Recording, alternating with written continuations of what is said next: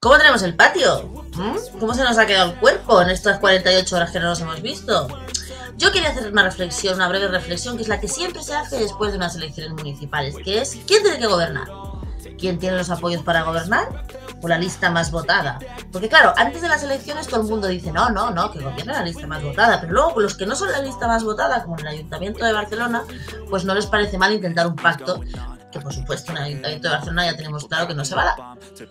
Pero ese es el debate. Si somos una mona, si somos un régimen parlamentario incluido en los ayuntamientos, no debería darse este debate, porque luego la gente se puede sentir estafada con el voto y demás. En cualquier caso, celebramos, celebraré y celebraremos todos en esta casa, al menos yo mucho, que es quien no va a ser alcaldesa ni con la lista más votada, ni sin la lista más votada, ni sin ningún pacto es Ada Colau. Así que con esta felicidad y esta sonrisa, The heart for this, I can't be picking up the pieces, fixing scars from this. Is this an argument or just a